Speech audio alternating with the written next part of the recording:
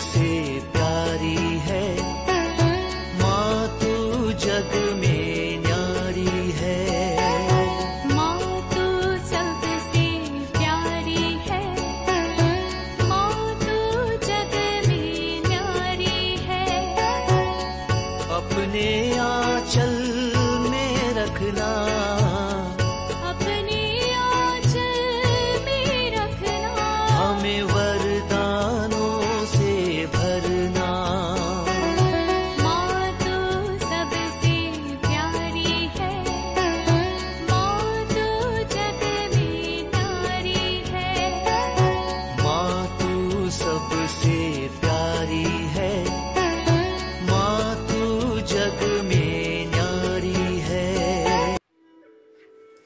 पिता, पुत्र और पवित्र आत्मा के नाम पर आमेन। आप सबों को जय यीशु। कल first November old saints day है। ओल्ड सेंट्स डे के लिए मैंने क्लास तैयार किया है। उसके अंदर हलोवीन के विषय में भी थोड़ा सा बताया। लेकिन किसी भाई ने मुझे मैसेज डाल करके कहा, ब्रदर, ये हालोविन के विषय में एक अलग क्लास लीजिए। और मुझे आज पेपर में भी ये पढ़ने के लिए मिला। कहीं पर लाखों लोग हालोविन मनाने के लिए इकट्ठे हुए थे। वहाँ भागा दौड़ी हुए उसके अंदर सैकड़ों लोगों का मृत्यु हो चुका है। और इस हालोविन जिस प्रकार कलीसिया मना रहा है, उसके अनुसार नहीं, मैं ये बताकर कर दूँगा। कैथोलिक कलीसिया जिस प्रकार का हलोविन आजकल मना रहा है, इसको मना किया है। ये पाप के लिए आज के नव पीढ़ियों को लेकर के जा रहा है। सैतानी पूजा में इसको लेकर के जा रहा है। ये हलोविन इसका शब्द का अर्थ कल के क्लास में भी मैं बताया आज फिर से बता कर देनो दूँगा। हमें मालूम है आ, कल ऑल सेंट्स डे है। इस ऑल सेंट्स डे का पूर्व संध्या में ये हालोविन मनाते थे। हालोविन का मतलब है हालोविन का शब्द को निकाला है होली इवनिंग से। हालो मीन्स होली इवनिंग उसी से इसको निकाला है। या ऑल सेंट्स डे को कई जगहों पर ये भी बोलते हैं all hallows day all hallows day all saints day को ऑल हालोस के, जितने भी पवित्र लोग हैं, संत लोग हैं, उनका दिन, ये बोलने के लिए। तो उस ऑल हालोस डे को मनाने के पूर्व संध्या को। पूर्व संध्या क्यों? हमें यह भी मालूम है, हमारा लिटरेजी के अनुसार कोई भी पर्व, कोई भी दिन शुरू होता है पूर्व संध्या से। पूर्व संध्या से दिन को शुरू होता है। विशेषकर जो पूर्वी कलिसिया हाँ अगर इतवार को मना रहा है, वो शनिवार शाम छः बजे से उसके लिए वो समय शुरू हुआ। उदाहरण के लिए हम लोग क्रिसमस मनाते हैं। 25 दिसंबर क्रिसमस का दिन है, लेकिन हम कब मनाते हैं? 24 का रात्रि को मनाता है। 24 का रात्रि को मनाने का कारण ही यही है, क्योंकि वो त्योहार शुरू हो रहा है उसके पूर्वी संध्या से। उसी प्रकार ईस्टर को लीजिए। ईस्टर तो इतवार को आना चाहिए। लेकिन हम लोग कब मनाते हैं? शनिवार के रात्रि में। शनिवार रात्रि में मनाता है। और उसी प्रकार पेंडेकोस्ट पेंडेकोस्ट भी पचासवा दिन इसके बाद ईस्टर से पचास दिन फिर से पड़ेगा, इतवार का दिन। लेकिन हम लोग शनिवार रात्रि को मनाते हैं। तो ये मुख्यतः ये तीन त्योहार को ही हमें मालूम है, चाहे क्रिसमस हो या ईस्टर हो या पेंटिकोस्ट हो, हम लोग पूर्वी संध्या से उसको लिए लेते हैं। उसी प्रकार ये ओल्ड सेंट्स डे सातवीं सदी से मना के आ रहा है। उसका इतिहास कल के क्लास में बताया है। थोड़ा सा और बता देता हूँ। आ, तेरह में 609 को तेरह में 609 को संत पापा बोनिफस फोर्थ ने इस पर्व मनाना शुरू किए, कैसे हुआ? जैसे अन्य जाति के एक मंदिर जिसको पांतन कहते हैं, आप यूट्यूबर में भी उसको एक देख सकते हैं। ये कहा जाता है जो ट्राजन हो या हार्दियन, हाद्रियन, जो एम्बर है, उनके द्वारा बनाया हुआ होना चाहिए। तब से वो ये अन्य जाति का एक मंदिर था। ये सातवीं सदी में आकर के वहाँ उस समय का जो एम्बर है बाइजेंडेन उन्होंने संत पापा बोनिफस को ये मंदिर जो है हैंड ओवर किया। क्रिश्चियन लोगों के लिए उसको हैंड ओवर किया।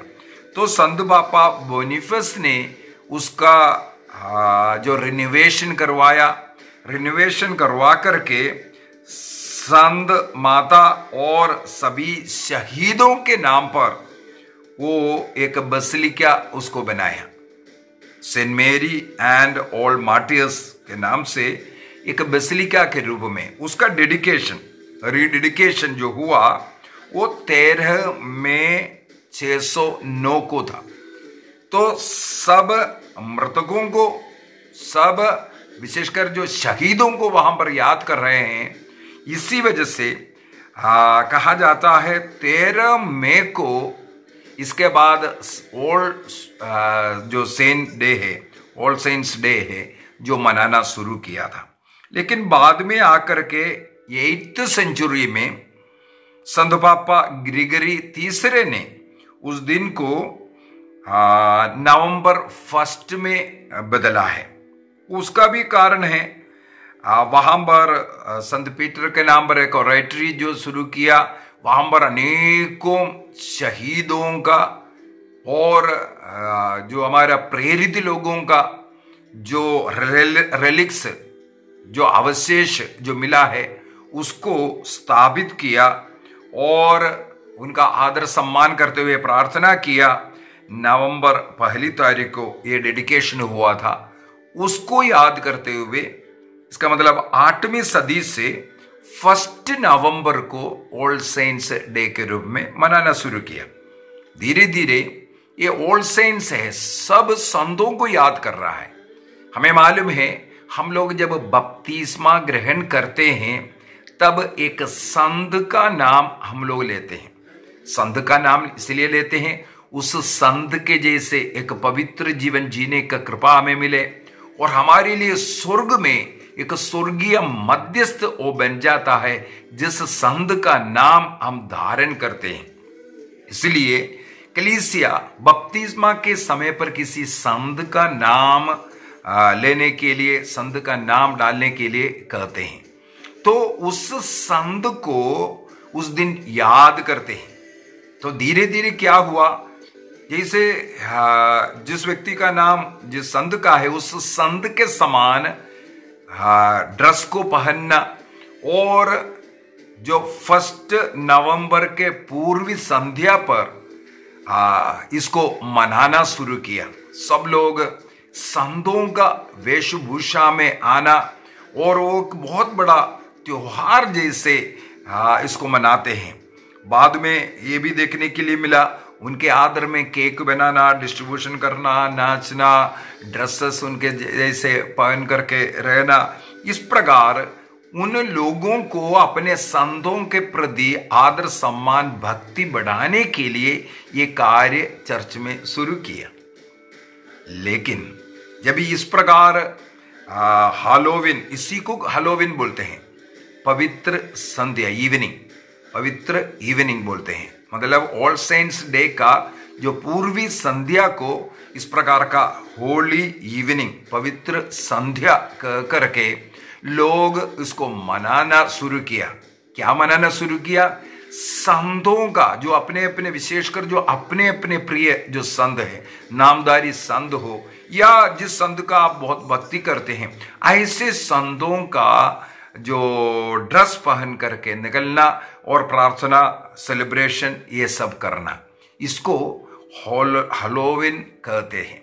हलोविन का मतलब हो गया होली इवनिंग लेकिन सैतान ने इसके ऊपर थोड़ा मिक्सिंग करना शुरू किया। धीरे धीरे इस हलोविन जो संतों का ड्रेस पहन करके आ रहा है, इन सैतान के आराधक लोग, पूजक लोगों ने देखा, आत्माओं का जो मृत लोगों का, जो आत्माओं का इकट्ठा होना और उनका महिमा, उनके लिए प्रार्थना करना, फ़र्स्ट नवंबर हो या सेकंड नवंबर।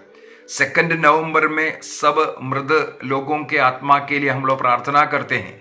विशेषकर जो परगिट्री के, जो शोधकाग्नि के आत्माओं के लिए प्रार्थना करने वाला दिन और फ़र्स्ट नवंबर जो सब स्वर्ग में प्रवेश किया हुआ हाँ, सब संतों को घोषित नहीं किया कलीसिया ने संत के रूप में। हमें मालूम है इससे लाखों लोग स्वर्ग में हैं जो घोषित नहीं है चर्चा। तो अघोषित संतों को भी फ़र्स्ट नवंबर पर हम लोग याद करते हैं। तो इस प्रकार एक महान दिन है इसलिए डे ऑफ़ ऑब्लिगेशन इसको बना है। डे ऑफ़ ऑब्लिगेशन है इस फ़र्स्ट नवंबर के दिन। तो उसको मनाने के लिए पूर्वी संध्या से लोग इकट्ठे होते थे, उसको मनाना शुरू किया। जिन जिन देश का एक संत होता है, उस देश का संत के आदर सम्मान और हर व्यक्ति के लिए एक संत है, उनका आदर सम्मान। तो एक पढ़ली का एक संत है, उनका आदर सम्मान। इस प्रकार संतों का आदर सम्मान के लिए शुरू होने वाला ये हालोवेन धीरे धीरे शैतान पूजक ने क्या किया? उसके अंदर मिलावट डाला। ये आप समझ नहीं रहा होगा कैसे मिलावट डाला, मैं बोल कर देता हूँ। जैसे हम लोग ईसा मसीह का जन्म क्रिसमस के रूप में मनाते हैं। क्रिसमस के रूप में। ईसा मसीह का जन्म को मनाता है। ईसा मसीह का पर्व है। लेकिन आजकल थोड़ा देख लीजिए, ये बिल्कुल ईसा मसीह से हट चुका है। ईसा मसीह से हट करके एक जोकर का ड्रेस पहनना। वो ड्रेस नहीं पहना तो क्रिसमस नहीं हुआ। इसका भी कैसे शुरुआत हुआ? मैंने इसका भी एक क्लास पिछले क्रिसमस में डाला था। ये क्रिसमस पापा ये सब जो बोल रहा है वो जोकर कौन है? ये विदेश में यूरोप वगैरह में क्या किया? जो लोग क्रिसमस के खरीदारी करने के लिए जब निकला, उनको आकर्षित करने के लिए जो मालों में बड़े बड़े जो शॉप्स है, उसमें बच्चों का एंटरटेनमेंट के लिए इस प्रकार का कुछ जोकरों को खड़ा किया। लाल वस्त्र पहनना, उनके ऊपर टोपी पहनना, उनके चेहरे पर कुछ ऐसा मुखोटा पहनना, इस प्रकार कर करके वो डांस कर रहा था। बच्चों का एंटरटेनमेंट और लोगों का आकर्षण करने के लिए। इसको धीरे धीरे, हा, जोड़ना शुरू किया सेंट निकोलस के साथ। सेंट निकोलस कौन है? एक क्रिसमस के अवसर पर विशेष रूप से लोगों का मदद करने वाला एक महान संदेह बिशप था। वो अपना बिशप का ड्रेस को उतार करके, ये सांता क्लोज का, ये जोकर का ड्रेस नहीं था। ये अपना आइडेंटिटी को छिपाता था केवल। अपने आइडेंटिटी को, एक साधारण लोग जैसे घूम करके किसी न किसी को मदद करना, चोरी छुपे किसी को मदद करना, यही तरीका था। अपना रूप, अपना नाम आगे नहीं दिखाता था, चोरी छुपे किसी का मदद करना। और इतिहास के अंदर कई लड़कियों का ऐसा विवाह होने का, गरीबों को, भूखों को खिलाने का, गरीबों को मदद करने का ऐसा कई उदाहरण संत निकलस के जीवन से मिलेगा। अभी संत निकलस को आ, मेरे विचार में दिसंबर छह तारीख को कुछ उनका पर्व है। हाँ लेकिन क्रिसमस के साथ उनको धीरे से जोड़ना शुरू कर दिया। उस समय पर संत निकोलस के समान आ, हमें सेवा कार्य करना चाहिए था। लेकिन उस संत निकोलस को आजकल एक जोकर का ड्रेस पहनाया। इसके बाद उसका नाम सांडा क्लोस डाल दिया। संत निकोलस से सांडा क्लोस नाम भी आया। आजकल चाहे चर्च के अंदर देख लो, कहीं मॉल में देख लो, अन्य जातियों में देख लो, क्रिसमस के समय पर सांता क्लोज के बगैर क्रिसमस नहीं होता। ईसा मसीह नहीं होगा, लेकिन सांता क्लोज ज़रूर होगा। इस प्रकार एक जॉकर व्यक्ति ने क्रिसमस को पूरा उनकी ओर लेकर के गया। उसी प्रकार ये जो हलोविन संत लोगों को याद करने का, उनका ड्रेस पहनने का जो समय था धीरे धीरे सैतान आराधक लोगों ने, जो सैतान का चर्च चलाने वाला पास्टर लोगों ने, क्या बुद्धि में लेके आया, उन लोग धीरे धीरे युवक युवतियों के लिए ऐसे ऐसा कपड़ा विपणी में बाज़ार में लेकर के आया, जो कपड़ा स्केल्टन जैसे दिख रहा हो जैसे शैतान का चिन्ह हो, उसके अंदर ऐसे ऐसे कर करके आज यूरोप में प्रभु को धन्यवाद। हमारे भारत देश में अभी तक ये हालोविन ये जो है, नहीं मना रहा है। ये क्लास हमारे लिए ज़रूरी भी नहीं है। अभी लोगों ने पूछा, इसी वजह से मैं उसको उत्तर दे रहा हूँ। हमारे देश में मेरे विचार में कहीं भी ये हालोविन नहीं मनाता है। लेकिन कई युवक युवतियाँ आजकल ऐसा वस्त्र धारण करते हैं, अपना हेयर कटिंग अपना हेयर स्टाइल अपना फ़ैशन सब शैतान का चाल और हाथ का कुछ इशारा भी ऐसे ऐसे कर करके घूमता है, जो शैतान का नकल कराने वाले, शैतान का वेशभूषा। ये हालोविन ये शैतान आराधकों का एक चाल था। अभी आज के ही पेपर में मुझे पढ़ने के लिए मिला कहीं विदेश में इस प्रकार हालोविन मनाने के लिए लाखों की संख्या, इन लाख लोग इकट्ठे थे। वहाँ पर भगदड़ मचा और सैकड़ों लोगों का मृत्यु उसके द्वारा हुआ। वे संत का ड्रेस पहन करके नहीं, शैतान का ड्रेस पहन करके घूम रहे हैं। हालोविन कैथोलिक कलीसिया इसका खंडन करते हैं। इस प्रकार का ड्रेस पहनना और माता पिताओं से भी स्थानीय बिशप लोग आग्रह कर रहे अपने बच्चों को ऐसा ड्रेस मत खरीद कर दे दो। बच्चों को इस प्रकार बाहर निकलने मत दो करके। लेकिन लोग चाहे छोटे हो या बड़े, इस प्रकार का वस्त्र धारण कर निकल रहा है, बर्बाद हो रहा है। इसमें शैतान बहुत खुश हो रहा है। और दूसरी बात, इस अवसर का दुरुपयोग करते हुए, दुरुपयोग नहीं, सदुपयोग में बोलूँगा। सदुपयोग करते हुए, कुछ प्रोटेस्टेंट चैनल ने कैथोलिक लोगों के ऊपर अटैक करने के लिए इसको इस्तेमाल कर रहा है। कैथोलिक लोग ऐसा शैतान का पूजा कर रहे करके दिखा रहा है। इसमें कैथलिक चर्च के साथ इसका कोई संबंध नहीं। जिस प्रकार जो सांता क्लोस चर्च के कोई आधिकारिक पत्र के अंदर, कोई नियम के अंदर ये है नहीं। ये सब अपने अपने मर्ज़ी से ऐसा रंग पहनना, ऐसा सांता क्लोज को इस्तेमाल करना, ये सब कर कर रखा है। हमें ईसा मसीह को अपनाने की ज़रूरत है। हमें संतों का आदर करना है। इस प्रकार किसी के सामने हास्य का खिल्ली उड़ाने का एक कार्य नहीं करना चाहिए। ये चाहे क्रिसमस हो, चाहे अभी ऑल साइंस डे हो, इतना पुनीत दिन, इतना पवित्र दिन सब संतों का आदर करने का और अपने संतों के साथ उनके जीवन के जैसे अपने जीवन में थोड़ा बदलाव डालने का एक अच्छा अवसर। इसलिए इसको पवित्र दिन माना जाता है। तो उस दिन को हम इस प्रकार का शैतान का पूजा करने और शैतान को खुश करने का दिन नहीं मनाना चाहिए। मेरे विचार में आप लोगों को ये हालोविन के विषय में आ, थोड़ा बहुत समझ में आया होगा। ये हालोविन होली इवनिंग है पवित्र इवनिंग है। वो शैतान का इवनिंग नहीं बनाना। चाहे नशा करना चाहे प्रार्थना ना करना चाहे बाइबल नहीं पढ़ना चाहे परिवार में पारिवारिक प्रार्थना सब लोग मिलकर के नहीं करना ये सब इस दिन को नहीं, कोई भी दिन हम लोगों के जीवन में ऐसा आता है, हम शैतान को खुश करता है, हालोविन है। तो हमें इससे बचने की ज़रूरत है। हमें इस दिन को हालोविन बनाना है, पवित्र दिन बनाना है, पवित्र शाम बनाना है। पवित्र शाम ईश्वर के साथ होता है संतों की संगति में होना है। आइए अपने आँखों को बंद करें, निर्णय करें। सब प्रकार के ऐसे पापों से ऐसे जो भी कार्य चलता है, उससे दूर रह करके प्रभु का आदर सम्मान करने का निर्णय कीजिए। कल के दिन हम लोग सब संतों का पर्व मनाते हुए हम लोगों को सब संतों के साथ रहना, सब संतों के साथ रहकर उनका उदाहरण, वे लोग अनेकों लोग क्रिस्त का साक्षी बनकर के शहीद हुआ, उनका हम आदर कर रहे हैं।